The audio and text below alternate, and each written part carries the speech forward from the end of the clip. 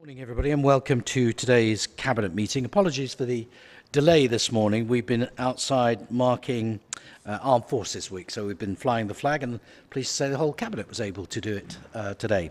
So I'd like to welcome members, uh, those in the public gallery, although I don't seem to see any at the moment, and those watching the live stream this morning. So before we begin, in the event of an evacuation alarm sounding, everyone should vacate the building through the nearest exit and proceed directly to the assembly point.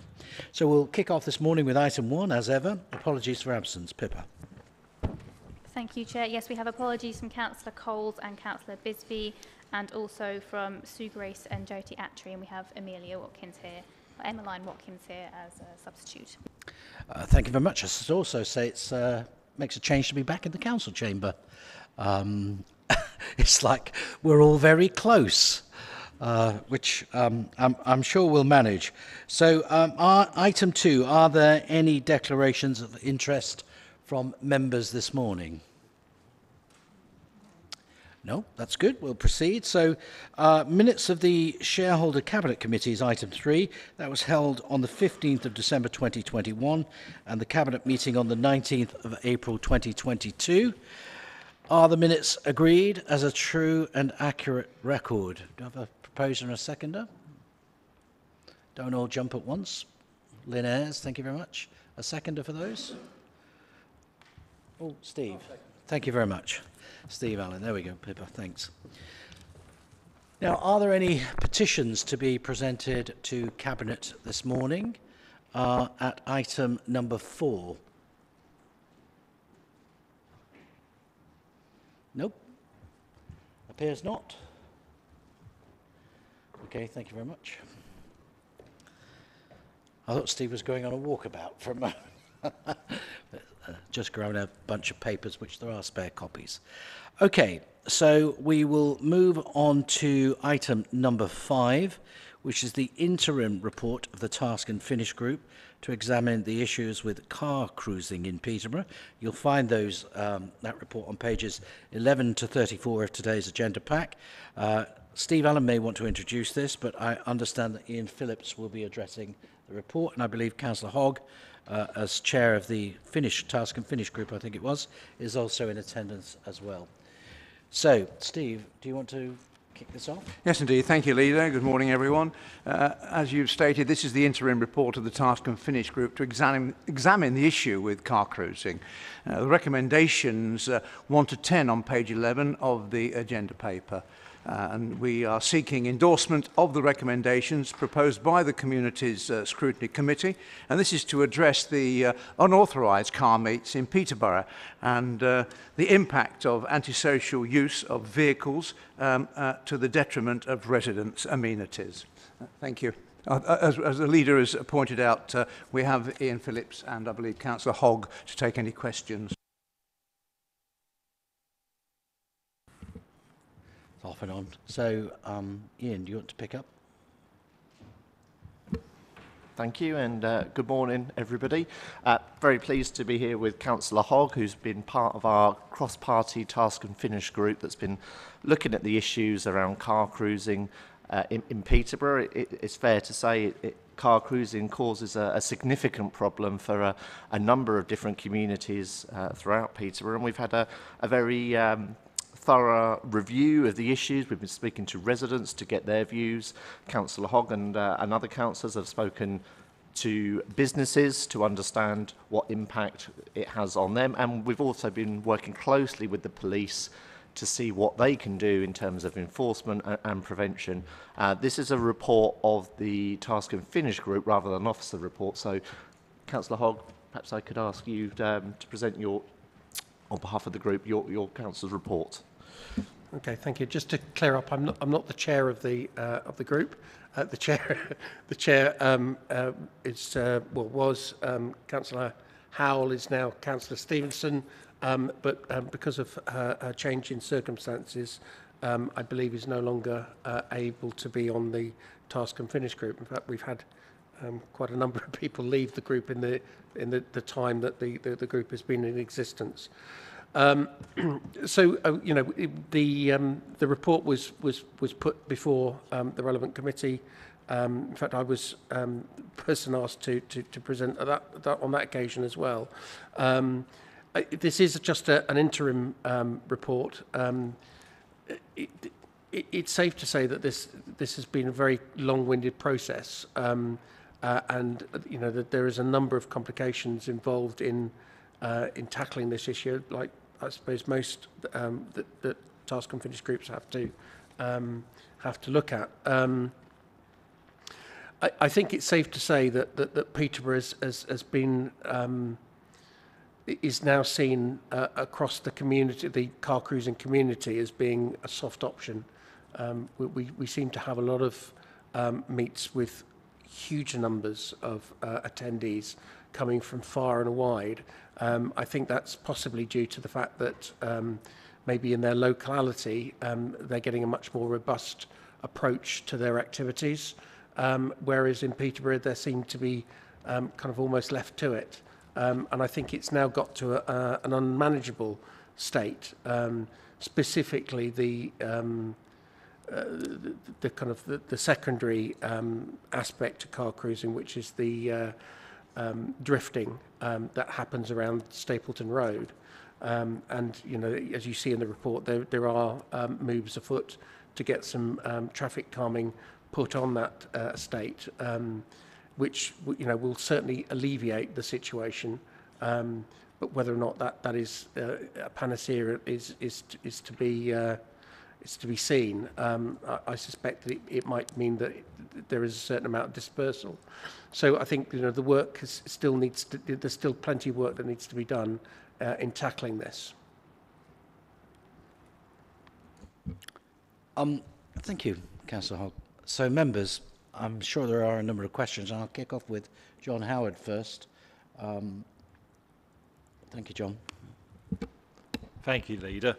Um, yeah, you've said that the Task and Finish group have, have spoken to residents, which is really good to hear. But what were their views on how car cruising affects them?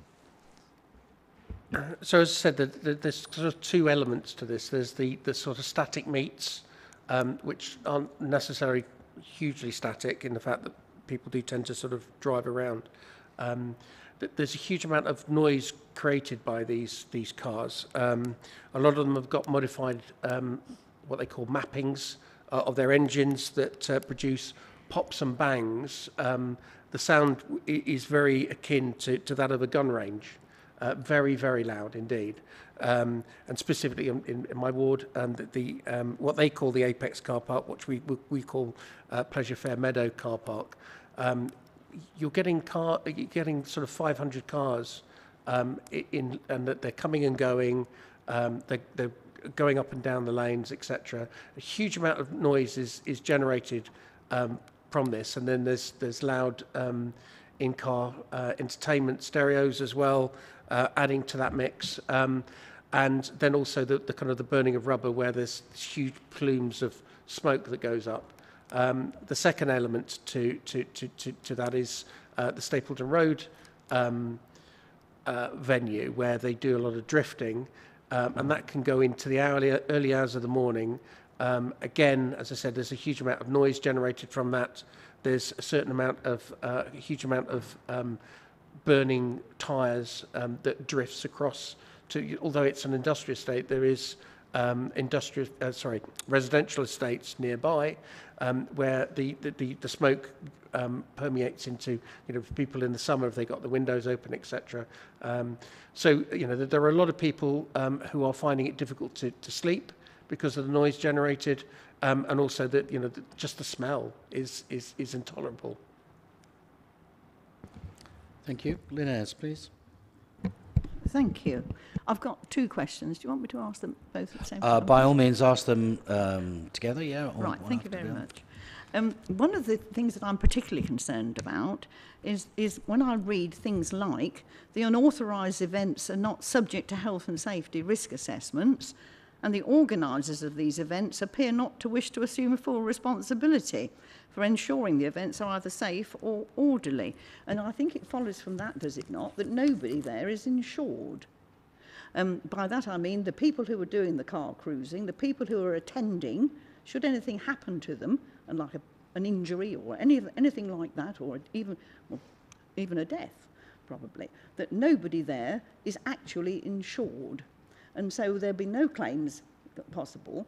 And I just wondered whether that particular point is made pretty straight to the people who do attend these events, whether they realise it. Because most people don't realise that sort of thing. And they think if, so, if they're damaged by somebody, that they will automatically get paid out by somebody. And I don't think that's the case here. I would like to hear from, from you whether that's something that we actually communicate. Because I think it's terribly important. And of course, it may help you with my second question, which, which is about the role that businesses having in helping to um, prevent or mitigate car cruising events because they need to, we, they would not want to think that they were getting themselves into situations in allowing events whereby it might go upon their insurance. So can you, can you please um, answer that for me? Thank you. Well, so uh, in terms of um, the, the largest location for the meets um, is council land. It's a council uh, car park. So um, that, that would be the, the first business that needs to, to be thinking about their um, liability uh, in these things. Um, specifically, um, you know, just because we, we don't enforce, um, you know, are we, you know, uh, almost kind of giving um, giving permission for these these events to, to happen. We know that they happen on a regular basis. Um, they are widely um, advertised, um, and and yet that nothing is is done in regard to enforcing them, certainly from the council side of things, um, and, and, and, and minimally more so in terms of uh, the police, because, the, you know, as far as they're concerned, that the council car parks are not uh, public roads, um, and so it, it's less of a priority for them. Um, in terms of the, the, the insurance, you're absolutely right. You know, you, you, most car uh, policies um, exclude um, racing. Um, Uh, I would also suggest that maybe a, a number of the, the cars are modified to a point where they're um, where if they haven't um, notified their insurance company of, of the fact that they've been motivated uh, be modified in that way, then again, yes, their, their car insurance is is null and void. Um, so yes, that is a very uh, real danger. And I, I believe that there is a um, you know for innocent bystanders there is uh, an industry. Um, scheme that, that allows pay, paying out for, for people that are injured by uh, non-insured drivers. Um, but, but it's far from ideal. Absolutely far from ideal. Um, we need to grasp this nettle, is, is the point, uh, and we need to deal with it. You, want- you want to come back, Councillor If- if Ayres? that- yeah, Because I, I did see that there was mention as well that, that you have very sensibly, I thought, looked to see whether there was somewhere on a piece of our land where we could actually have a legal thing happen that was acceptable. Uh, but you haven't been able to find anywhere within the Peterborough City Council area. Um, is there any reason why we couldn't do something probably with Fenland or somebody like that who might have, as it were, flatter pieces of land and more open land than we have ourselves um, left in our local authority? So So I, I think the, the, the trouble is that as it stands at the moment, they, they, they turn up to, to, to the Pleasure Fair um, car park. Um, they're not challenged in any way. Um, they, they, they, they have their meat. Um, they do what they want. They don't have to, to fill in um, health and safety um, forms, etc., etc. They don't have to produce insurance for the event, etc., etc. So uh, until you close that avenue to them, why would they want to um, to get involved in in a, a load of paperwork uh, and a load of expense um, to, to do a, a you know a, a more legal, safer situation? Um, uh, they're quite happy doing what they're doing, and and they're not being challenged on it. Is the is the bottom line? Um, the only way that we would be able to encourage them to do so um, to get involved in that, that you know, in, in a proper procedure uh, would be to, to, to, to close off every other avenue to them. Thank you very much. Um, Councillor Allen has a related question, I believe. Yes, indeed. Thank you, Leader. Thanks for the opportunity. I mean, this does fall under my portfolio, but I haven't been directly involved in the Task and Finish Group or indeed uh, the preparation of the report. Uh, and as I see it, the issue is we are unable to implement closure of locations such as Fe Pleasure Fair Meadows because they are public car parks. So the only way to stop this would be physical prevention, i.e. the police.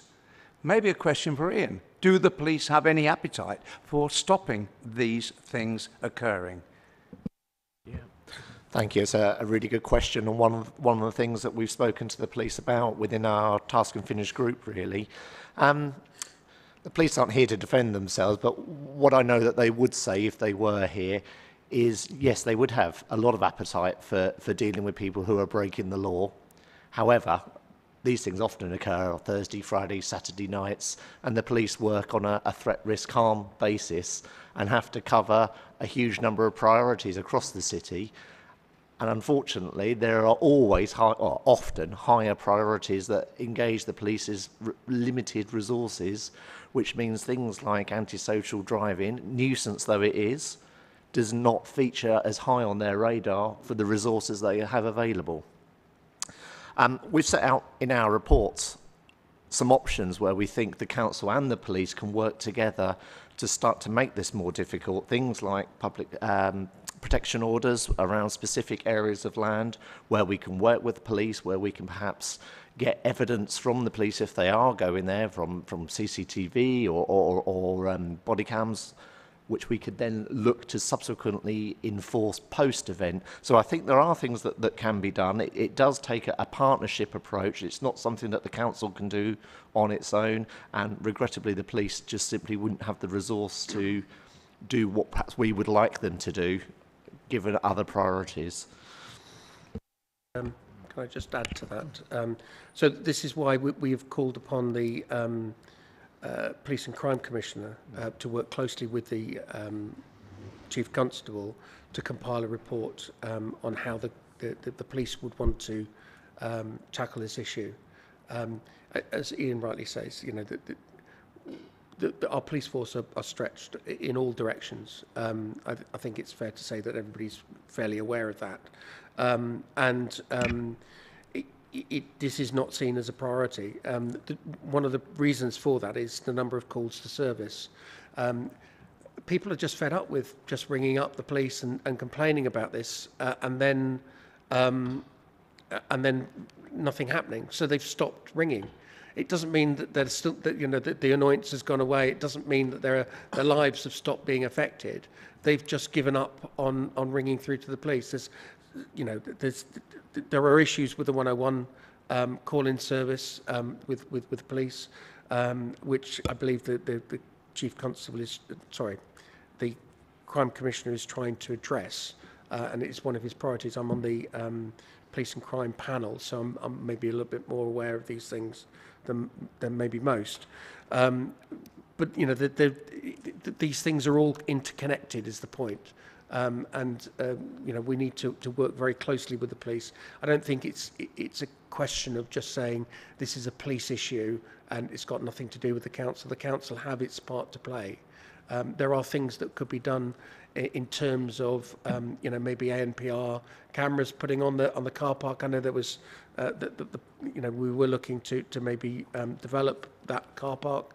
Um, so whether or not an investment in an ANPR cameras on the because ultimately you've got 500 cars turning up on a Friday night. You know they're not paying car parking charges.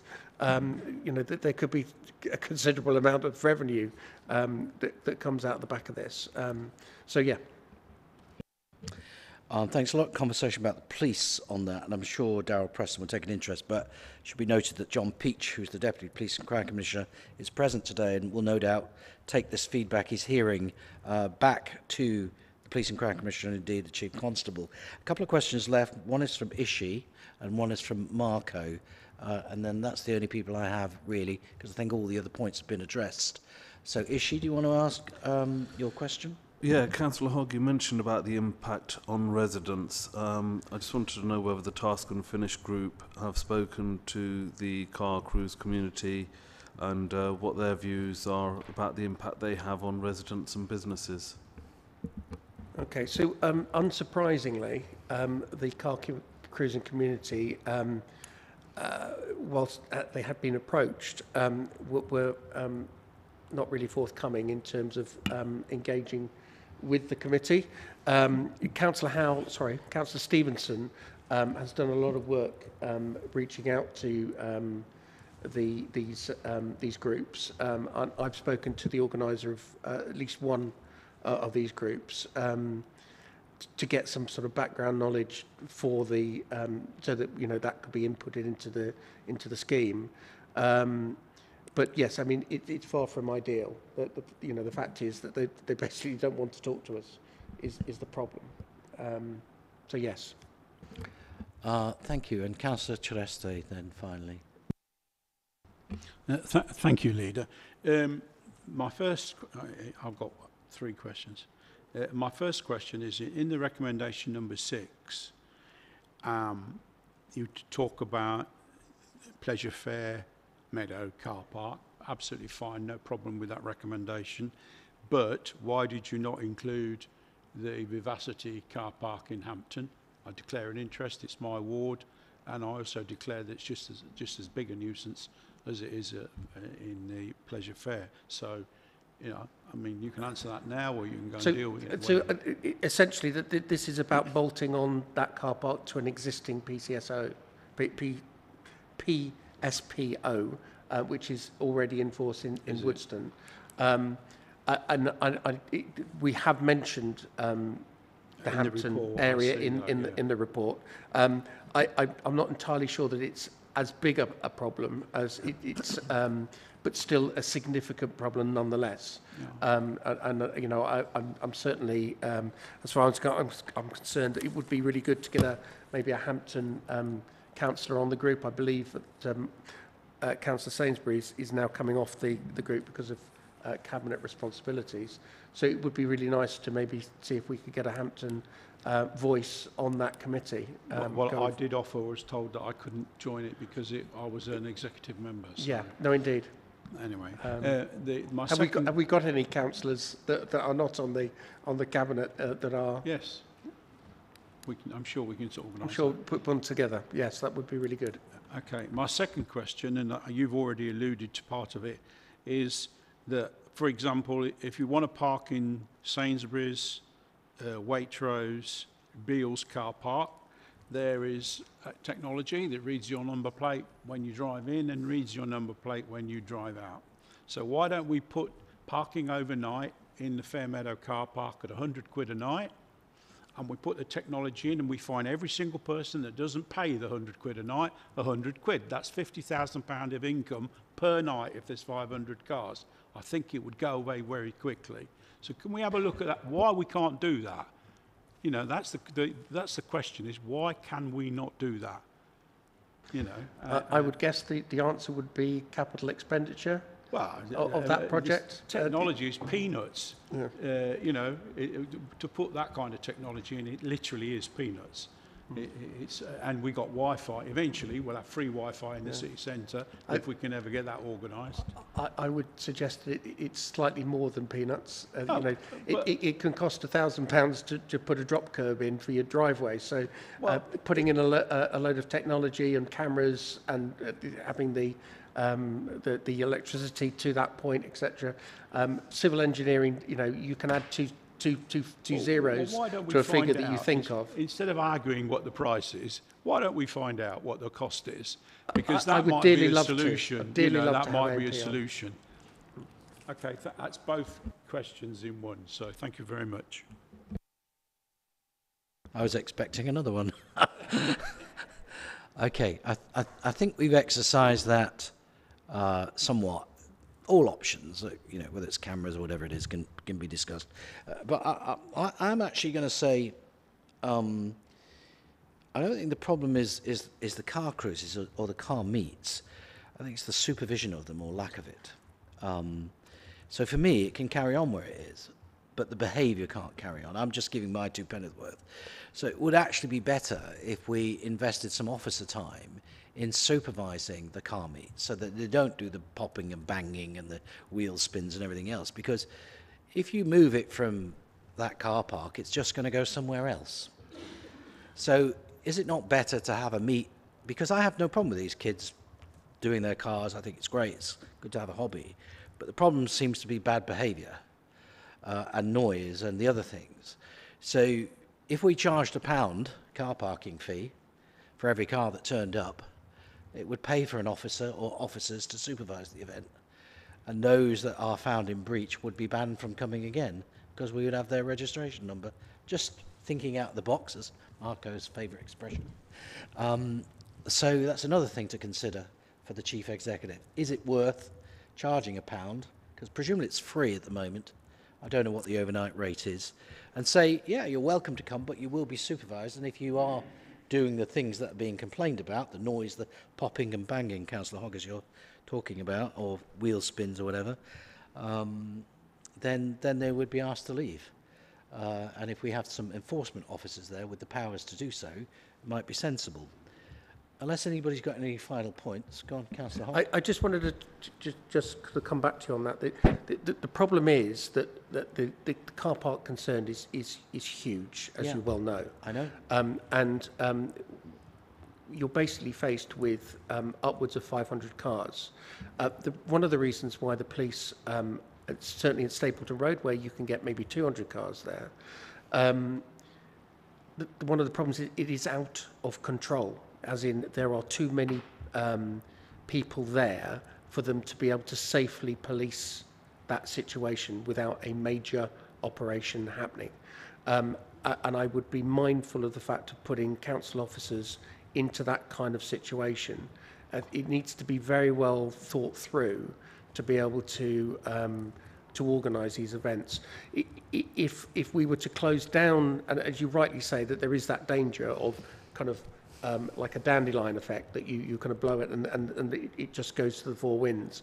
And we could have pockets of, of but then they would at least be a lot more manageable. Um, and more importantly, Peterborough is now seen as being an easy place to do this kind of activity, specifically the, the, the, the drifting.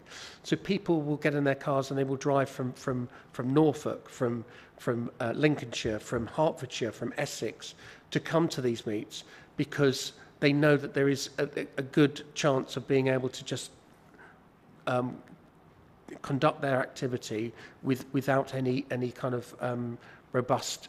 Um, whereas if they thought that there was going to be the chance that the, the meet was going to be broken up, maybe they wouldn't, maybe they would stay more locally and, and deal with the issues that they have uh, with maybe slightly more robust approach with the police in their own locale.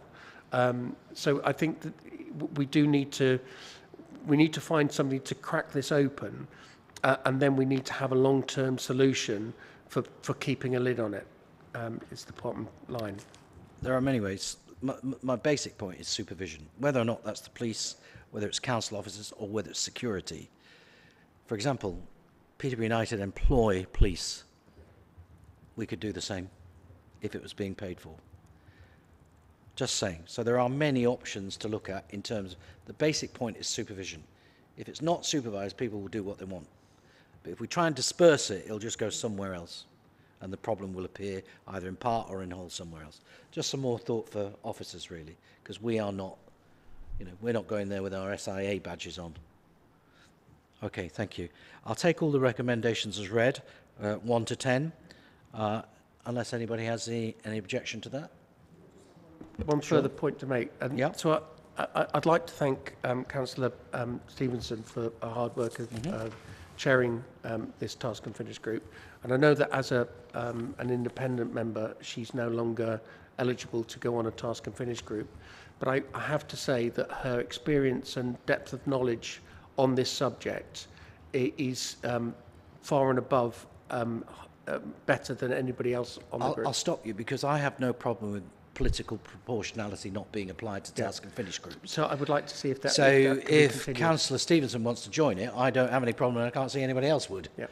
So there, as far as I'm concerned, there isn't political proportionality should not apply Yep. in all circumstances to task and finish groups. So from my point of view, there's no reason why she can't stay on it. Thank you very much. Uh, if she's listening, by the way. Um, so we, we try to in, have an all-inclusive council here because we are very nice people. Are we not? right. I expected a unanimous yes from my colleagues. Not, mm, let's think about that for a moment.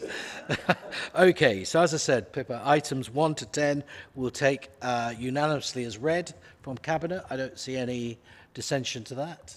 Thank you very much, ladies and gentlemen. And thank you, Councillor Hogg and uh, Ian, for uh, your presentation uh, this morning. So while we just reset, if people want to move around for a second.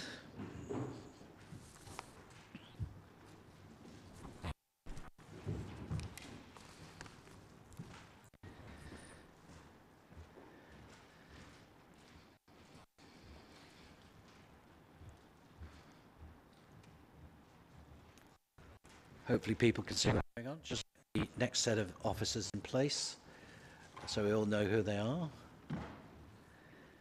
We shall move on to item number six this morning, the Towns Fund business cases as set out on pages 35 to 72.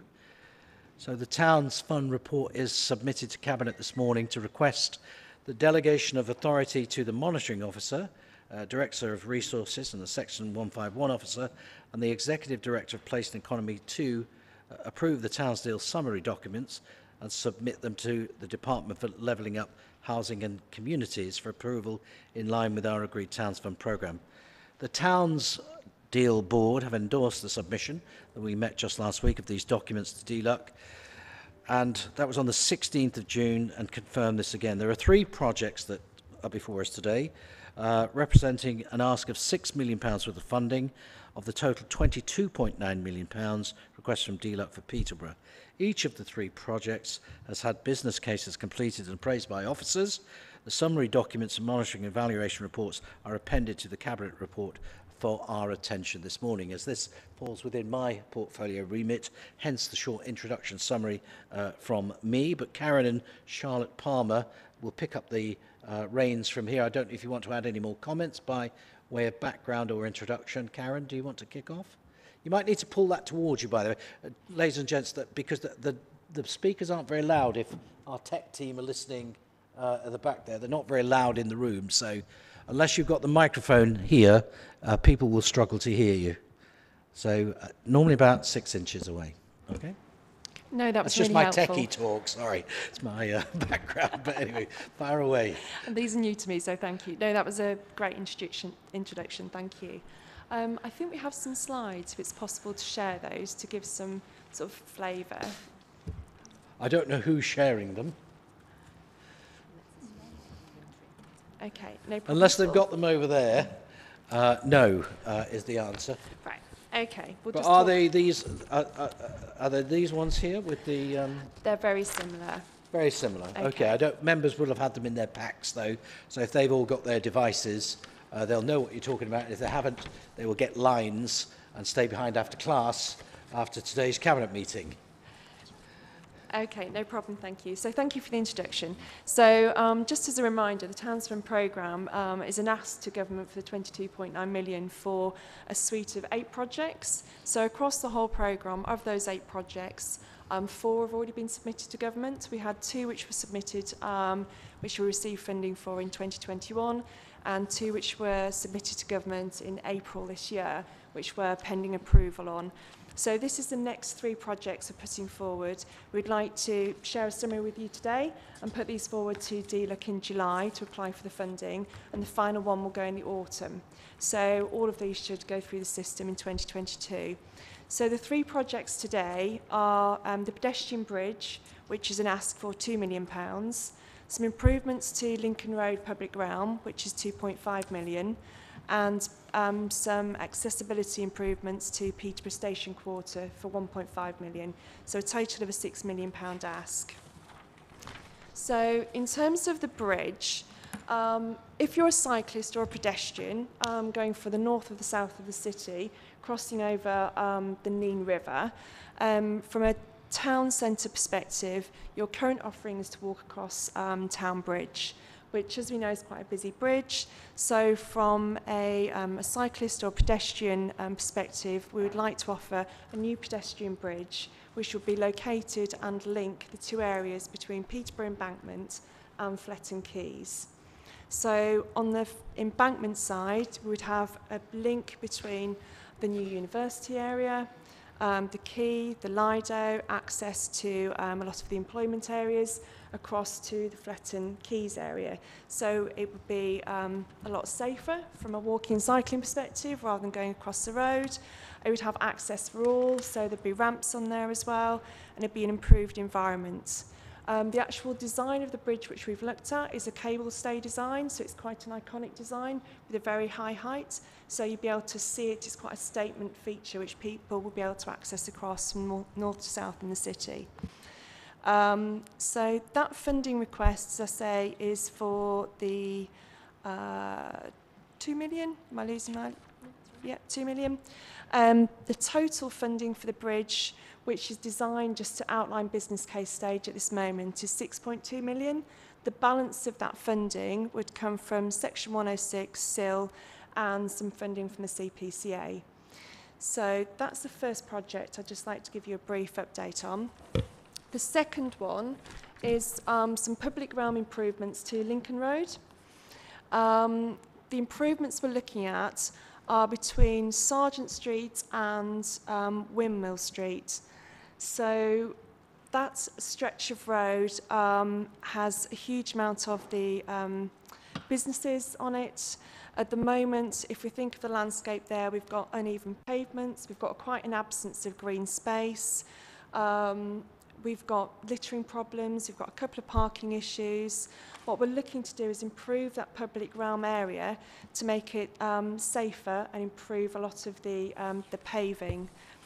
So I would have liked to have shared a nice image of this with you today. Um, but if you can just sort of visualize looking down that stretch of area, we're looking at potentially looking at four sections of planting. So as you walk or cycle, you're in that area, you have a lot more greenery around you. Um, taking away and improving um, the pathways there with block paving, going from the roads to the shop frontages, so it'd look a lot smarter. General public realm improvements like more bins, street furniture, um, two pedestrian crossings um, from the Lincoln Road Alma Road junction, so it's a lot safer. Um, we're also looking at two potential options around cycling, either having cycle lanes in or not having cycle lanes in, and a community art installation project. All of these are at the design stage at the moment, so please take them with a hint of caution. And all of these will be taken to public consultation following your, if you're happy with this. Um, and we'll be looking to do that public consultation in July. Um, so just as a reminder, that request into DLUC will be for funding for 2.5 million. The whole scheme is just shy of um, 3.4 million, and the balance of that funding will come from Highways Capital, CIL, and um, some smaller shared prosperity, shared prosperity bids. So the third and final project, just to talk you through, is um, focused around Peterborough Station Quarter. So at the moment, there's no accessible and level pedestrian cycle links between the city and um, the uh, the train station. So we're looking to put in a number of sort of small interventions to improve that. So um, one of the simple examples, if you go around the back of um, the yellow car park, if that's familiar to you, if you're going towards the Great Northern Hotel, if you're cycling around that area, there's quite a few nip points as you're cycling around there. We're looking to improve that. Um, if you're going down Bright Street, if you picture yourself on a bike or on foot going down Bright Street towards the brewery tap in front of you, so the brewery tap's on the right hand side, you would usually have to follow the road round to the right, go around the back of the brewery tap. We're looking at some interventions down there to improve the cycle access so it's safer and it's more direct into the station. So it's general improvements in the public realm. Um, one of the, the bigger interventions we'd be looking at is um, making sure we've got a better access into the shopping centre as well and link into the town. So at the moment it's just stepped access, which leads from Bourges Boulevard up into the shopping centre. We're looking at putting a large ramp in there so there'll be access you know, accessible on foot um, and disabled access as well. So the ask from um, DLUC for that would be for a 1.5 million pound um, Towns Fund allocation and any additional funds from um, uh, local growth match funding. So that's the three projects we'd like to um, ask for your support on, see if you're happy for us to proceed with that application to DLUC. Um, if there's any questions or anything I can add to that, um, please let me know. Thank you. Thanks. I hope you brought sandwiches because there's lots of questions on on each of those sections. Um, so let's kick off with the first one, which I have is the uh, the pedestrian bridge. Um, two or three questions on that. Kick off straight away. Uh, I'll take John Howard, Councillor Allen, and John Howard again. I think. Unless John, you want to ask both your questions together. Is that okay? Thank you, Leader. Yeah, I'm going to blend some of my questions into one to make it a bit easier for you. Um, it was just to get a scale of the size of it and what the length and width of the bridge is going to be. And obviously, once it's in place, will there still be room for people to sort of come to the side of the bridge and enjoy the view? Thank you. Yep, thank you for that. So um, the current bridge design we're looking at has a span of 101 metres. So the river at that point is 67 metres. Um, it's all been designed in line with the, um, is it LTN 120? Yes. Which is the, the cyclists um, Active travel. active travel. Thank you very much. So it's actually, at the moment, it's just over four metres wide, so there should be sufficient space um, for people who are travelling both directions. And of course, what I didn't mention earlier, you've just picked up on the views from that bridge as well. So from that bridge, you can look back onto the city and see the heights of the cathedral. Thank you. Councillor Allen, please. Yes, thank you, Leader. Uh, pop reference, I know money's too tight to mention, but we do want to get this right. Uh, it's an iconic uh, uh, bridge that we're going to put in that generations in the future will appreciate. Uh, so that's my point about getting it right. Uh, the link from the foot of the bridge, I've seen visualizations, but are we going to splay it out so that uh, it does cater for the university and indeed into the city, so that it's an obvious route from the city over to Fletton Keys, and indeed traffic, foot and cycle from the university will go to Fletton Keys and my follow-up to that is, will there be a delineation between pedestrian and cycle facilities? Because I know that's a trend now happening with footpaths that rather than let them all bum around and beat each other up, particularly with scooters as well now in play, are we going to delineate the bridge so that one side is for cyclists and one side is for pedestrians? Thank you. Yeah, so I'll jump in and answer those if that's okay. Um, so first of all, in terms of how the pedestrian footbridge connects into either existing or new infrastructure, both on the embankment and the Fletton Quays side, um, all of that will come out as part of the detailed design stage. At this point in time, we don't have the specification for exactly how that will look on the embankment side. Um, the will, that will be subject to the wider embankment master plan works that are evolving and developing, um, but also subject to additional funding requirements in order to put that longer term connectivity in place. Um, however, we do have, we will, um, subject to the approval of Cabinet and DLURC, we will enter into a period of detailed design now where those sorts of details will start to emerge and we can look at how that will materialise um, what existing funding streams and potential future funding streams and developer contributions could be secured for that. And in terms of actually using the footbridge itself, in terms of the guidance, again, referring back to LTN 120, we will ensure the bridge is designed to meet that guidance. So well, as part of the detailed design, we'll be reviewing the best options in terms of shared space and making sure that that's designed and fulfills that criteria. And again, that will emerge and all be part of the public consultation process for the structure. Thank you. Anybody else on that particular project? Nope, I don't think so. Okay. Uh, We should move on to the next one then, which I believe is the Lincoln Road uh, proposal. Uh, and again, I've got several questions in about that. We'll start with uh, Marco, please.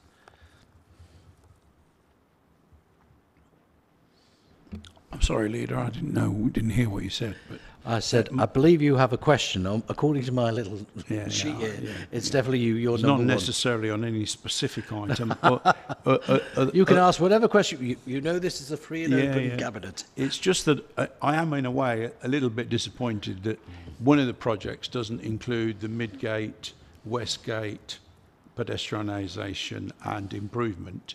And, uh, you know, uh, I would like to know where we are with that, if we are anywhere with that. And and we, do you have intentions, if we're not anywhere with it, do you have intentions to put it in as the next phase or something like that? Yeah, so I can update on that one. Um, as part of the annual budget setting process for the combined authority, we did submit a number of bids for funding for their next phase of investment, um, of which West, Westgate and Midgate improvements were one of them. Um, and that, that was quite a high level overview at that point, um, mostly focusing on improving the public realm and traffic flows in that area. Unfortunately, that bid wasn't prioritised for the combined authority as part of the current budget setting process. Um, it doesn't necessarily mean it's off the table in the medium to longer term, but it does mean we need to do further work with them to identify the viability of that scheme. Um, that said, there are other funding sources that will become available to us over time. For example, the government, as you'll be aware, um, are, are, increasingly funding in active travel schemes, and there may be ways to again look at opportunities to improve active travel connections, which by default will have an improvement to the public realm space as well. Um, but at this point in time, that wasn't a scheme that the combined authority could fund, and um, unfortunately, it wasn't a scheme that was put forward at the time of the investment plan for the towns fund. Um, Lynne Ayres, please. Thank you. Um, you did mention we're going to have public consultations. Um, can I ask whether, because um, I mean they're both, they're all three quite substantial schemes and mean a lot to the various people that are engaged in them. So I just wondered, are they all going to take place at the same time and in the same same area, or different times and in different places? Can you explain to us how the public will get to know and be able to comment on it, including me, by the way? Thank you. Thank you, that's a good question. So um, for the Lincoln Road, what we'd like to do is start the public consultation in July. Um, that will involve um, online uh, communications. It will involve face-to-face, which will be happening on Lincoln Road. Um, we're looking at having a base there at different times of day as well to make sure we're capturing different parts of the community or working at different times of the day. Um, and of course, the ability to um, ask questions via email and send those questions in. Um, the public consultation for the bridge is due to take place in the autumn. I believe that's the second one which is intended to take place.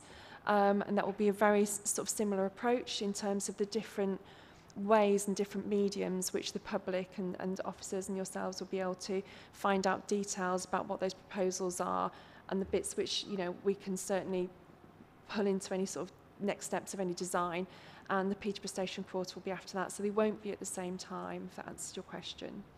And in relation to the last two, I think you mentioned that you're going to have a place down in Lincoln Road. Are you going to have a place near the university or somewhere like that, and, and another and a place where people can actually go to for the station quarter? I'll jump in for that. So you, I have to say, you're one step ahead of us with the details for the consultation on Lincoln Road. Sorry. Um, I'm sorry, on the on the River pedestrian bridge and for um, the station quarters specifically when it comes into ter- into terms of the locations that we'll have, because it's very key to us, of course, that we're in places that are relevant to the majority of people that will go on to use those facilities. So we've got an overall plan for those two schemes, but the detail in terms of actual location hasn't yet been finalised But we're going to have one. but we will definitely have something in place. And in terms of Lincoln Road as well, just to add a little bit more detail to the consultation there, because I went through with officers all of the plans for that on Friday. Um, we have some great visualisations now of what that scheme could look like. Um, we're also going to be doing some work um, with the ward councillors and hoping the ward councillors will support us in attending those events. Um, and the consultation questions and literature will be produced in the five most commonly spoken languages in that area of the city in order to ensure we can really interact with as many people as possible. Um, again, if, if anyone else has any suggestions or ideas for ways we could build on that consultation, we're more than happy, obviously, to incorporate that. Um, but Lincoln Road will go first and it will run for about a month, effectively. Thank you. I have two more questions on this, one from John Howard and one from Councillor Hussain, but John first and then Councillor Hussain. Thank you, Leader. Nigel as well. Thank you. Yeah, it's, it's really good to see an ambitious project for Lincoln Road. So uh, well done for getting that in, in the proposals. Um, I was just wondering, what if the feedback on the public consultation comes back and doesn't favour the cycle lanes? Thank you. At this stage um, of the scheme, as you'd expect, we're very much in that the process of having different options available for people to consider, um, and we were very keen to make sure that we're not presenting a, a fait accompli to to people in the local community because we're very obviously interested as an authority to understand the views, but particularly the views of users of that infrastructure in the city.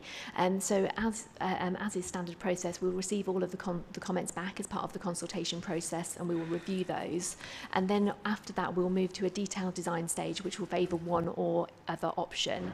Effectively, what the council will need to do is consider the the the, the um, advantages and disadvantages of either either scheme and work out which one it's happy to progress with. It could be that there's an opportunity to incorporate elements of both, um, albeit the cycle lanes themselves. Um, it would be it would be quite difficult to do them with the road width that we have in any other way that's different to how they've been outlined at the moment. Um, one of the things we are also conscious of as well is that we are at the outline design stage for these schemes at the moment. And once we have a selected preferred option, we do need to take that through the standard um, road safety process that we do as part of any highway changes. And what we might find when we do that is some of the options need need revising again in order to be able to meet the road safety requirements. So this is, the, the, the, in summary, this is an iterative process. Um, and if we get to a point where we're looking at a design that differs substantially from the favoured design, of course, we'll enter into further consultation with residents and businesses as well. Councillor Hussain, please. Thank you. Um, with the, um, the the bus depot that's on Lincoln Road, it does cause a lot of issues. So going forward, in, there is talks of potential moves in the future. So will the plan incorporate a design that would um, be adaptable if there's a move of the bus station in the uh, bus depot in the future? And also, um, certain parts of that road have um, shops encroaching into the sort of public space. Um, does this design t- take that into account and you know um, target those shops moving back uh, out the uh, public public sphere? Yeah, so if I take those questions in turn, firstly, the uh, stagecoach bus depot, um, we, we are aware that that um, is a challenging infrastructure for this area of the city, and members will recall um, some time ago now a motion was passed at full council um, to commit to looking at alternative locations for that bus depot. As part of the, the, the work undertaken on that, we have been working with the combined authority, and as part of their budget setting process, have secured um, some revenue funding in order to undertake a feasibility assessment of the various different options for relocating that facility. Um, and that is from not just in terms of where it might be suitable in the city um, for that facility to be located, but also what the finance model is that would sit behind that. You'll all be aware the Combined Authority have the passenger transport powers now that previously sat with the local authority. Um, they're also therefore considering the option of franchising the local bus network or aspects of it.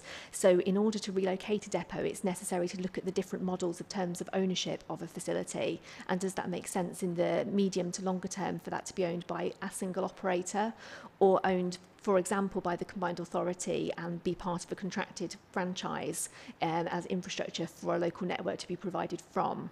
Um, so the, the, the long and short of it is that work is being undertaken now to look at what those options look like um, with a preferred option to come forward, which would then look at what the, those different financing models are and how that how the relevant stakeholders would invest in order to achieve that.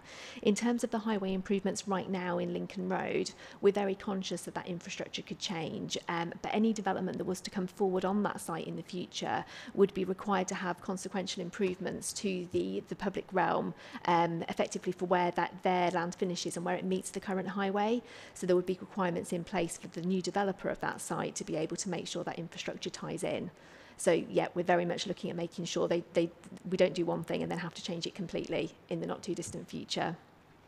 Um, and in terms of shop frontages, um, so you'll all be aware um, one of the challenges in this particular area of the city is that many of the individual shop units own the what effectively feels like the pavement outside of the front of the shop. Now, historically, it probably wouldn't have been pavement; it probably could have been front gardens, um, private property, but is now all opened up, and people use it as they would use a path. And people can have their, um, their their goods and their produce out and available for sale. Um, in, in an ideal world, the council would just go in and in, put this intervention through on the highway that it owns. But of course, that would leave a very patchwork effect around the area with poor quality infrastructure. So our proposal as part of this scheme is to work with each of the individual property owners and undertake those improvement works on their behalf, subject to the legal um, um, requirements being in place. And then those shop owners continue to take on the long-term maintenance of that facility, it does mean they can continue to have their goods, their, their produce, their tables and chairs, etc., out on that space. But that is all considered to be an important element of that area of the community to encourage people to dwell longer, um, encourage people to therefore to the effect would be people sitting and being um, calmer in that space would have an, a consequential impact on the movement of vehicular traffic as well. Thanks. Um, the bus depot and electrification of buses is very much on my agenda and is actually in the paperwork for the leaders' strategy meeting that's uh, coming up on Wednesday for discussion. So it is moving along. Our final question is from uh, Nigel Simons. Yeah, thank you, Leader. Um, yeah, we'll see we have a provision of two EV charging points. Can we be a bit more ambitious on that? we'll, we can certainly endeavour to be more ambitious. Um, of course, we are working within a funding envelope here, so what we need to ensure is that we're not exceeding the funding envelope available to us. One thing that we can um, and will very much bear in mind as part of this is looking at the underground connectivity for EV charging. The ideal scenario being that we enable further infrastructure to be installed later because the underground works are in place. Um, that will depend obviously on the location of the current utilities because even that will, could have excessive costs um, as part of that work, but that's certainly something we'll, we'll be looking to do. Okay, I don't think I missed anybody out there. That's going to take a great deal of cooperation from property owners to actually get agreement on all those properties to go right up to the boundaries. So I wish you well with that. And we'll see how that comes out. Finally, just a few questions on the other project, which is the station quarter. And I believe Councillor Oliver Sainsbury is first out the traps on this one. Thank you. Um, I just wanted to ask on the station quarter um, what the access improvement will mean for commuters actually going to and from the station, and then the local residents who live nearby. Thank you. Uh, thank you for your question. Um, so there's a, there are sort of lots of small interventions we're looking at there, and you sort of said specifically for the residents of the area. So um, just thinking out loud, thinking um, sort of north of Bright Street, that area there. So um, looking at those potential um, cycle improvements, which will put down Bright Street, which will be able to link people from, from the areas where they live uh, past the brewery tap across to, I keep using that brewery tap as a reference point, but it's quite a big, big thing there, just down towards the station. Um, also the better links with the better access from the bus station as well with the improvement of the ramps, which we already have in place. So um, they'll be on a, a, a more steady incline, so sort of safer and, and you know, better for people in wheelchairs, um, cyclists and anyone sort of with pushchairs or anything like that. So, and it's the realignment and improving those crossings and also looking at um, better signage around the area as well to link people from the city and the areas where they live um, to and from the railway station. I hope that helps. Thank you. Councillor Chastity, please. Hello again. Um, how does this project link into the larger Peterborough Station Quarter project? So, as some members will be aware, we are proposing to submit a Levelling Up Round 2 funding bid to Government on the 6th of July, um, subject to approval from the Combined Authority Board um, shortly. Um, that, that wider bid um, is for a package of work totalling around £50 million, pounds, um, which is improvements to the station itself and the passenger facilities, um, introducing a new western access and improving the new, improving the current access from the eastern side of the station, amongst amongst much more many more elements. This particular element of the station quarter work is looking at improvements that will effectively be um, no regret improvements. So regardless of the finer detail of how those various elements of the station quarter come forward um, for the 50 million pounds um, levelling up bid and ultimately a couple of hundred million pounds worth of regeneration in that area, these these recommendations um, contained within this this this outline business case here are, are improvements that will improve people's day-to-day lives now, um, walking to and from the station, cycling to and from the station, um, making sure that journey is easier for them, um, more achievable to do on a day-to-day basis, and more accessible for all users, regardless of their physical ability. Um, so these measures are, are designed to be complementary of that, that longer-term work. And uh, just something that you said earlier on about moving the um, uh, bus depot. Have you ever thought about putting it in uh, Fairmeadow?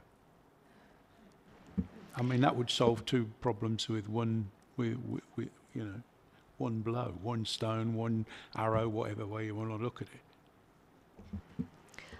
I, I, I just kind of be blunt. I, I've thought of a lot of places the bus depot could go, to be honest, and a lot of them have different advantages for different reasons. So, for example, one of the locations we originally looked at would be um, sort of the town centre end of Maskew Avenue, um, because if we could, could locate there, would be obviously on very good highway infrastructure on Bourges Boulevard. Um, but there was also the work that's been undertaken on the PIRI, the Peterborough Renewable Energy Infrastructure Project, and that was why effectively the scope of that project goes as far as Maskew Avenue, because if, if we could get our own electricity up to a new bus depot location and then we could power our own fleet, I mean, that obviously that just ticks so many boxes for everyone. Um, that has advantages of obviously not needing to cross the river and the rail as well. And but there's there's also opportunities around potentially in the Fengate area, um, around Pleasure Fair Meadow, and also in uh, North Bretton as well. Um, this will become a, a, a task for us effectively when we identify the, the financial model behind the relocation. It will then compare to what opportunities of land are available at that point in time, either on the open market or assets that we have that we could utilise differently ourselves. Great. I think I got everybody there on that. Um, can't see any more questions. Looking around. No. Okay. I think that um, very exciting times ahead with all this development going on. We are definitely open for business. So I'll refer you to the recommendations on page 35. If we're all agreed, it is only the um, opening statement and one thing to approve. So if we're all happy with that. Agreed. There we go. That that was easy. Thank you very much. Even though a lot of questions, it's uh, three great projects there. Um, so we'll move on to item seven. Uh, this is Councillor Howard's portfolio. I don't know if you've got anything by way of introduction, Councillor Howard, but I notice we've got Charlotte Black here, and is Tony here as well? Ah, there we go. Hiding down the back over there. Just give a moment to reset the room. It's like it's like having a dance card, isn't it? When you a ball, you're just kind of stepping up. Not that I remember those things, but apparently you used to have lots of dances in the town hall. Councillor Ayres will remember. She's had two weddings here. what? yeah, indeed. Across the road, the angel, yes, long gone. Okay, so it is the extension of the Learning Disability Day Opportunity Contract uh, in Peterborough. You'll find the information before us this morning on pages 73 to 78. Councillor Howard, have you got anything by way of introduction? Thank you, Leader. Yeah, Oliver's going to take the lead on the presentation today, but just to give a bit of sense of the, the positive impact um, that this decision will, will have, I'll, I'll draw you to example 4.1 um, of a 21-year-old woman with learning disabilities who, through the, through the um, provision, is training up to, to actually look to apply for a job, um, which is making a massive difference in her life. So just to quantify some of the impact that this decision is making. But I'll hand over to Oliver for the main presentation. So Tony's going to take us through this. I'll, I'll just support with questions. Hi, this is Tony here. Um, so we're re requesting um, today if we can uh, get Cabinet approval to extend the contracts for the provision of three-day opportunities um, until the end of March 2024. And that will be for the providers Thera East Anglia, Sense, which is the National Deafblind and Rubella Association, and the Helping Hands Group. Um, this will ensure the continuation of day opportunity contracts and services whilst we undertake a wider commissioning exercise looking at day opportunities reviewing both Peterborough and Cambridgeshire. So we're requesting that we are um, extending the contracts to the 31st of March 2024. Thank you. I, I know I have two questions. I have no idea what the questions are. Uh, Councillor Hussein and Councillor Linnaeus. So, uh, Lynn, you've been closest. Thank you very much. And beginning with A. beginning with A. It's always good. um, I think this is really, really important for, the, for these people who, who obviously need all of this work that is going on. It's a very interesting uh, uh, thing that you're, you're doing here to extend this contract. And I see it makes an alternative offer to the City College as well. So you, in other words, we're not just faced with one area for people. But um, what I wanted to ask was about the sort of co-production aspect of, of this and whether, whether that features within the Day Opportunities Transformation and how the Learning Disability Partnership Board will feature in that as well. So if you can give me... Yeah, that's, that has already started. Um, was part of that program as well. So co-production is the involvement, engagement of um, wider stakeholders, particularly mm. families, service users, people who access the services as well, so they can feed into the design and the delivery of these services to make them really meaningful so that their outcomes are going to be the best for them. There's uh, today my understanding that you know they've been engaging with key stakeholders from the very beginning so you kind of start with a blank sheet so you can really develop that service as you go along and take people's views. So my understanding that they've already been co-designing and piloting an approach um, around outcome-based commissioning. So that's very much based oh. on the, um, the benefits to the individual and what they will receive from that service as well. So day opportunities will also support families and carers. They will have a break from their caring opportunities, but also it's the meaning and the intent from what those people are actually going into here as well. So mm. um, there's been co-production on that. There's been a lot of work going around visiting the services, speaking to people, um, looking at what they want to design going forward in the future. Um, and I understand it's more like a co community-based care and support model as well. So it's using the strength of what's already out there within the communities and building on that to support people. So it's a real key feature of what we do. Councillor Hussain, please. Thank you. Uh, I've got two parts to my question. Um, this is uh, a high value contract, and it would be good to understand the value for money. So, how does the service compare to City College in terms of number of people accessing the service and the cost of the service? And um, you've given a cost breakdown in the paper. Can you confirm if this is inclusive of inflation? If not, what is the plan to manage that? Okay, so yeah, just starting with the, the numbers of people who access the services here, uh, and bearing in mind, like with Sense and Thera and that, we've got extremely complex individuals Um, so about deaf-blind people, for example, so some of the most vulnerable people with the most complex needs. So these are very intensive services. Uh, we've, um, I think from last year, from what I can tell, we had about 86 people um, across those three services. So a bit of a breakdown, we had about 22 at Sense and they go to the City College. They can go from anywhere sort of between one and, and five days per week. People often go on, on regular days. We've had about 40 people at Helping Hands. We've had um, in their 20s, around 24 at Thera. So um, a good number of service users for whom it is kind of a lifeline for them and their families. Um, at the City College, which I, perhaps they're some of their support is of a slightly different level um, and different varieties because we've got different centres like employment hubs, we've got the Brook Street College, we've got an industrial hub in Hampton. We've actually got about 250 people using that. So we can actually see the numbers of people across Peterborough who are going into the, and the variety and the range of support that we can give them across these different provisions is really important. Um, oh, sorry, and you also, the second part of it was about the, the value for money. Was that right about inflation? To, yeah, I, I think I'll give this to Oliver. Yeah, thank you. So, um, so just if I could just skip back to the, the, the value for money element. So, there's a number of service users that are accessing um, in compared to City College, which is sort of an in-house service that's provided by the council as opposed to the three uh, providers that act on the, uh, the framework contract that we've just set out there. Um, this contract that we're looking to extend is just slightly over 1.2 million a year um, as opposed to the City College contract, which is just over 1.7 million pounds a year. Now, there is a significant difference in the number of people that are accessing those services. So over 250 for uh, City College, and under 100 um, for these framework providers. Now, there is a very, very clear difference in the needs um, that have been identified in the care and support plans for the people that access um, the providers that we're talking about today, uh, as, as Tony has referred to. So it's, it's not a comparison of, of like for like, but we can assure from the, the quality of services that, we've, that we review and the outcomes um, based on annual reviews that the individuals who are accessing those services have, the outcomes that they're receiving are, are, are very good for the, for the services that they're, they're accessing. So we're very confident actually we are receiving good value for money as a local authority on these services. services.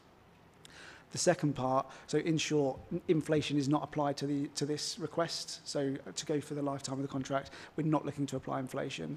We would do that on a year by year basis, and we would do that as part of our business planning process within the council. So that's something we're looking at now for uh, 23, 24, and onwards. But this is a this is not a, a figure that includes inflation.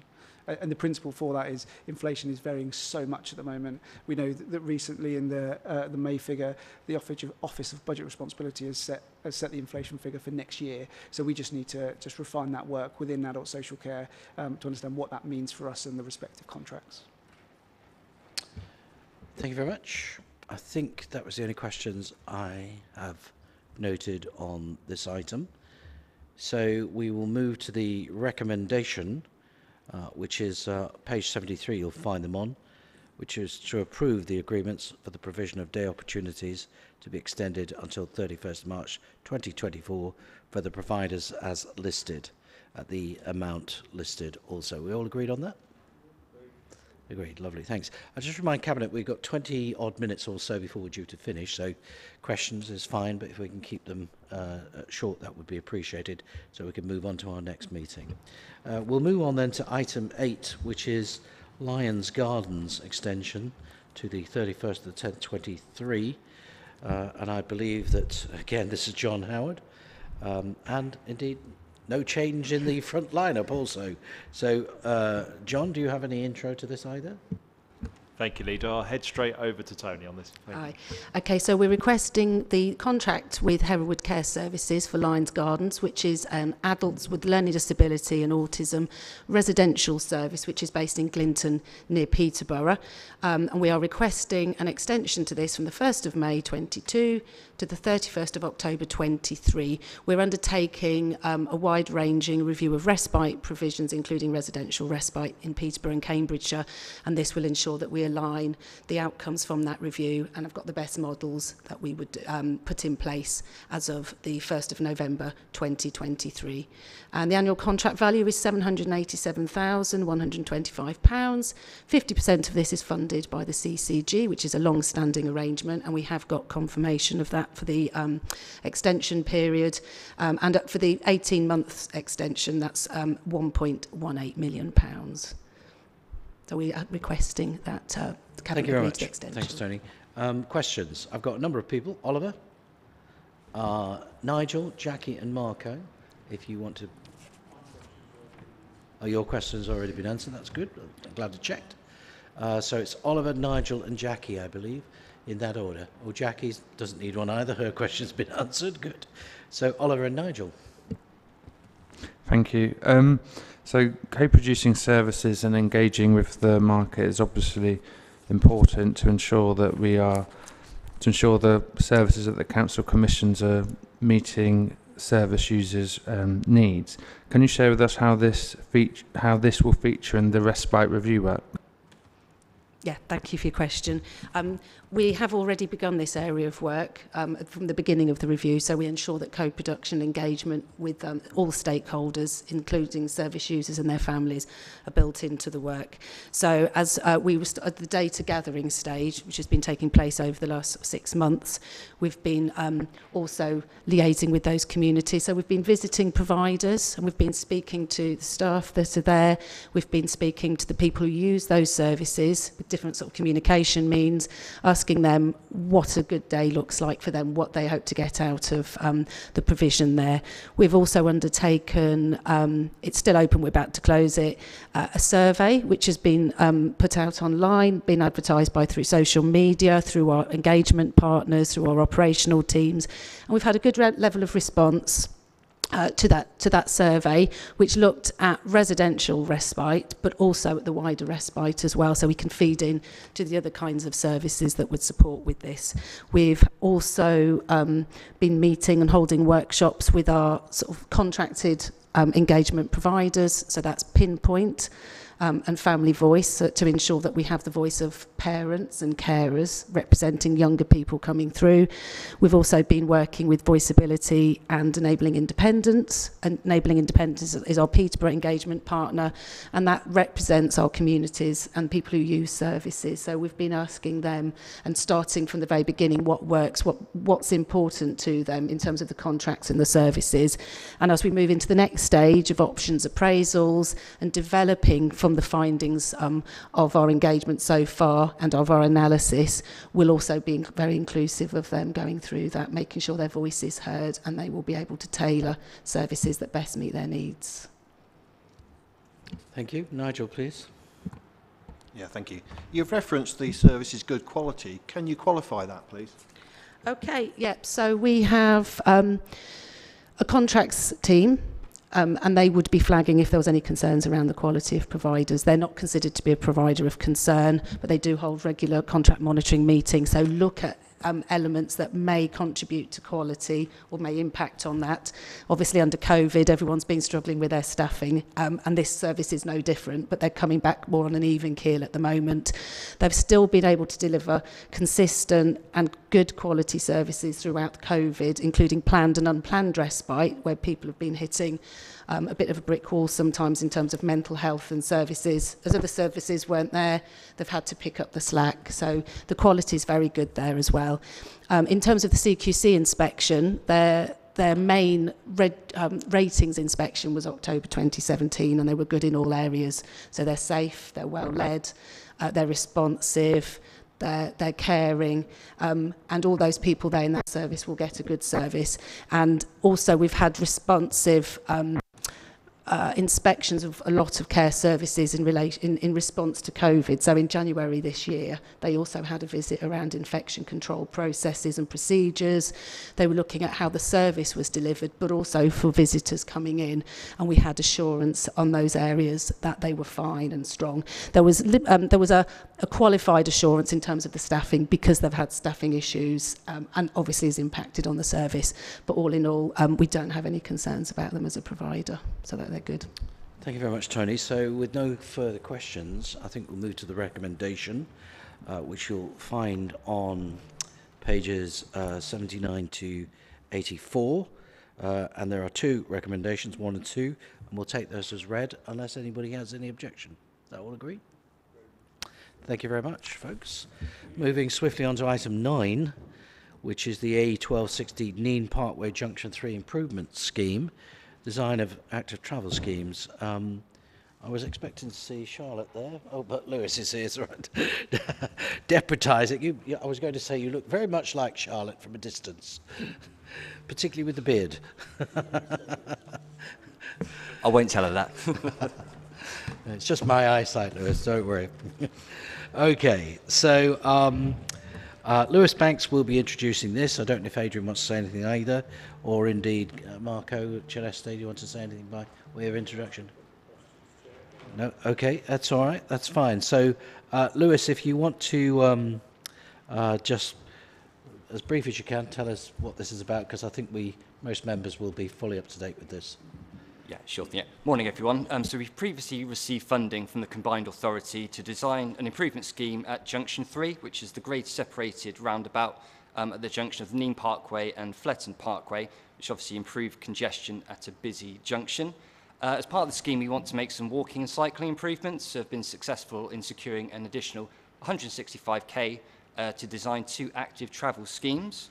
Uh, so they are a new footway on Malborne Way and a new cycleway on Fortress Close and Fortress Way that will connect the existing cycleways in Hampton with the existing cycleways in Cygnet Business Park, which goes all the way to town. Um, so the intention is that we'll be submitting a full business case and detailed design to the combined authority uh, later this year to hopefully secure construction funding for the entire scheme. Thank you. Thank you. Um, this is the second set of money really to be spent in that area with the junction widening as well, which is what I was getting confused with earlier.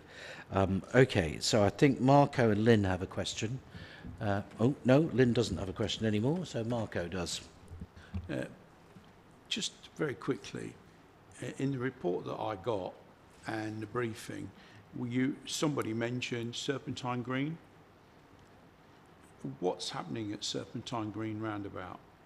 Anything, or is that a, something different that we're doing? Uh, so that will be something different. The Serpentine roundabout. Um, it's actually well. There's there's a couple of roundabouts they refer to as the Serpentine roundabout. There's um, we've got some um, early options, I think, for what people generally refer to as the McDonald's roundabout. There, looking Yeah. at options there to improve congestion there. This the main roundabout works though is, is Junction Three, so it's where the Serpentine meets the Fletton Parkway and the, Yeah, the yeah. Parkway. So that's where the major, the future major scheme will be at that location. Yep. Okay, and can I ask one other question? Whilst you're looking at, at uh, uh, uh, junction uh, roundabout three, whatever you want to call it, do you realise that one of the biggest problems is getting out of Thorpe Road at peak times and slightly widening the splay at the entrance of Thorpe Road where, where it meets uh, Yeah, is it the A47 there? Yeah, Yeah. wherever it is, if that was just to be widened, uh, you know, even half a dozen feet, that would enable two cars, one to go right and one to go left. And that doesn't happen at the moment.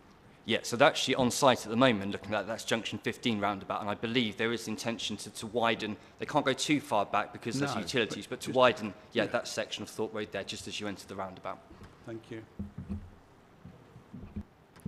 Thanks. So I think that was it. Nobody else had anything on that.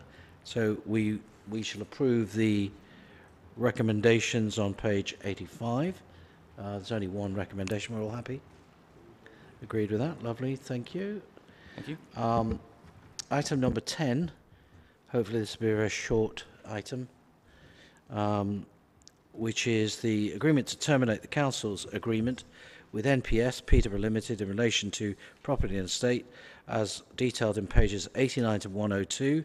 Uh, this is uh, Councillor Coles, but uh, he's on holiday right now, much deserved, no doubt. Uh, so uh, Cecilia Booth is here as the Section 151 officer and responsible also for finance. Do you have any comments to make uh, on this item, or we're just going to move on? Um, just very briefly, Yeah. um, NPS have been notified of our intention to give notice, and I've been up to see the team as well.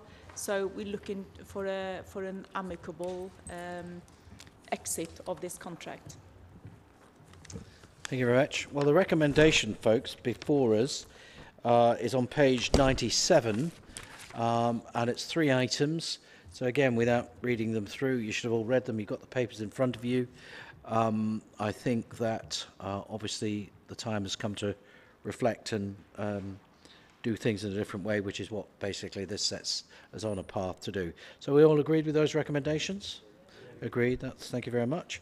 Okay, moving on to um, Opportunity Peterborough, which is on pages 103 to 106. Um, I think I do have uh, some notes my, myself on this. Just bear with me a second.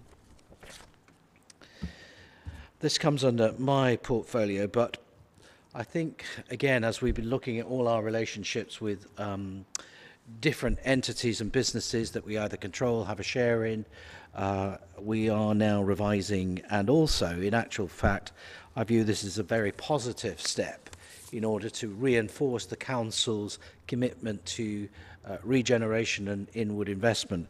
Um, and I know uh, that uh, Tom Hennessy, who heads up OP, has been doing a great deal of work, and uh, we would look to be keeping him and other members of staff uh, that are currently working in, in, in OP if we reintegrate, that's the word, uh, our economic function back into the council. Adrian Chapman, do you want to say anything on this?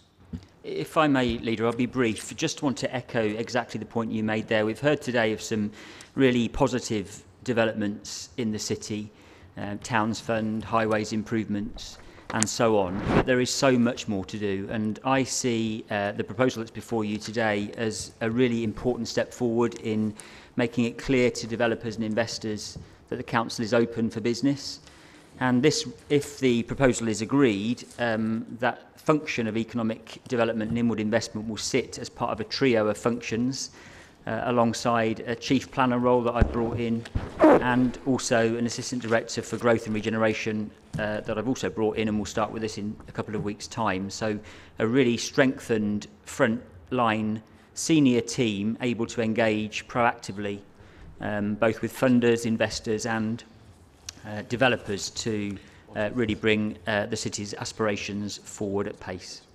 Thank you.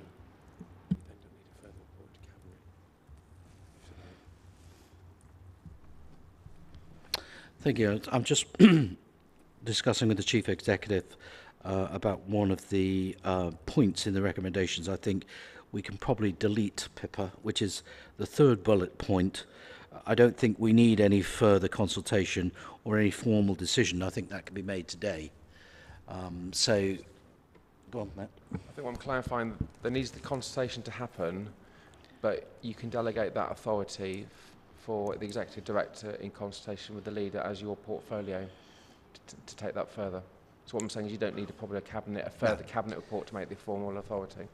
Happy to do that. We're all agreed with that. Bas basically, I think we can delete that, yes? In effect? Is that what we're saying? Or do you have a form of words? My suggestion was to, to delete it. Delete possible. it, fine. So, Pippa, if we can delete bullet point three, I don't think it's necessary. Any consultation will, would just be that from staff, I would imagine, and those that are affected by any integration. I don't think that we're planning to make any changes per se. Uh, what I would say on public record is that the staff and the team uh, have done a, a, a great job and they deserve more support from the council going forwards as to the roles that they will fulfill in the future. I would also like at this point to put on public record our grateful thanks to the board of Opportunity Peterborough for all the work that they've done over the years and it is our intention to involve as many members of that uh, uh, limited company board in perhaps a future role with the council where they can assist uh, where they can assist where they can assist um, uh, the team still uh, through the council directly rather than at arm's length through uh, a limited company. So we'll work through all the details and any consultation required, but we can delegate that cabinet to the officers to determine. That's what we're basically saying. Is that okay? And everything else stands there. So I, uh, bullet points one, two, and four, but but I but I don't think um, we need to bring anything back to cabinet. All happy? Are you happy on my left here? Yes, Marco. Thank you. Um, I mean, one of the things that OP has been really, really good at is engaging the Peterborough business community. And certainly in the early years, it's one of the things that made it highly successful. Of course, you know, I'd like to take the credit for being partially responsible for setting it You up. can have the full credit. All right. Well, we don't I, mind. I will then. Thank you. I will have it all. But anyway, but whatever. Uh, but I would like, whatever we do and whatever happens and whatever recommendation comes back to us, I would stress that I think if we want it to succeed, we need to make sure that the Peterborough business community is still highly engaged in its future and in the work that it does. I think we're saying the same things. That's what I've just alluded to. But the team need to work out the structure and the details of that, whether that's, quote, a business board or some other, uh, uh, shall we say, group of people, how we bring them together. You're right. I don't think we want to lose that expertise or that local connection to business uh, through the council directly because we've had some very, very good people uh, that are on the board today and that have been on the board in the past and I think we owe them a, a, a, debt of gratitude which we just acknowledged and will go on public record. So I think the process of how we, how we reintegrate our economic functions back into the council, we can leave to the chief exec and the team uh, to work that out with the team OP, who will no doubt all be TUPE'd uh, directly into the council on salary. There are a few little things to work out, but that is just business, as it were, as usual. So the implication of what we're doing is to strengthen our economic uh, uh, development and delivery rather than diminish it, uh, which probably at the moment it's probably been a little lacking in love and attention. All agreed? Great, lovely.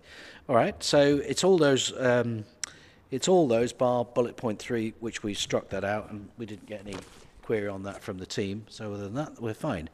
Um, okay, we're moving to the home stretch. Um, Budget Control Final Outturn Report 21-22, pages 107 to 150. Councillor Coles, again, I'll repeat because he's probably watching, is on holiday. Um, so lucky old him. So Cecilia Booth, uh, and I don't see Kirsty, so um, Cecilia, do you want to say anything about this in terms of how it relates to the recommendations or anything you want to highlight? Um, no, Put the thing in near your... Um, There's nothing in particular I want to highlight. I think members have seen this report already and the detail of it. Uh, the final outturn position is that we have an underspend of four and a half million. So the, the overall position has shifted quite significantly uh, over the last six months of the financial year. So, so the breakdown is in the report and is self-explanatory. I'm happy to take questions, but there's no Uh, just one second. Just make sure. Um, I think uh, Matt wants to come in. Yeah.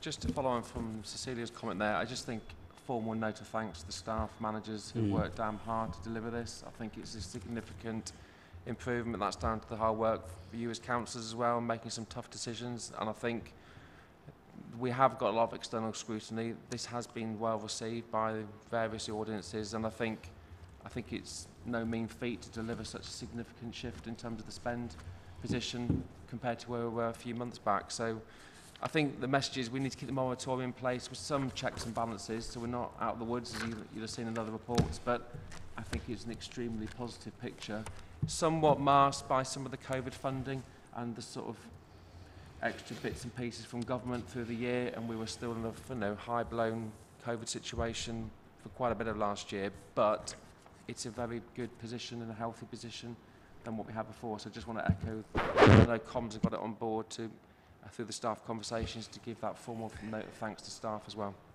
Thank you. Indeed, and I would echo that. And all the hard work from the cabinet team as well, in terms of uh, steering the ship. We've made good progress. As I reported today, press releases have gone out. I did a piece this morning uh, on the BBC that talks about we're not out the woods yet, we all know that, but in, it's remarkable the progress we've made in terms of particularly on the 17 million pounds worth of savings, over 50% just after two months. But yes, the pressure is still on. I would also like to say on public record, I'm sure Cecilia would echo, we've made uh, a saving in the year ended, not in the current year. People seem to be misunderstanding that it's something in this year. And they also seem to think that we've got money to spend. Whereas we don't have money to spend because our reserves position is 16% of what it should be in terms of 46% on average for our revenue spend. So the money has gone back into reserves because we are facing anywhere between 5 and 15 millions in terms of our opening balance for the forthcoming year. So people who think we can spend it on other things are mistaken because we are a long way from financial sustainability. I hope you would echo those comments. I'm getting a nod. Uh, so grateful thanks to all the team for the hard work. The recommendations are as printed on page 107, and it's items 1 to 6. If we're agreed unanimously on all those, we can take them on block, yes? I think that is good. So, Pippa, um, on the last item, uh, the outcome of petitions, uh, pages 151 um, to uh, 156. They're just for noting, really, are they not? Unless anybody's got any questions on, either, on, on, uh, on any of those. I won't, I won't go through them all. Um, I think probably uh, some of them are out of date in any event, that we have moved on. And with that, I think I'll call the meeting uh, to a close uh, at item 13. Um, and thank you all very much for attending this morning. And we are one minute past 12, which, had I not waffled on for a minute, we would have been on time. So thank you all very much.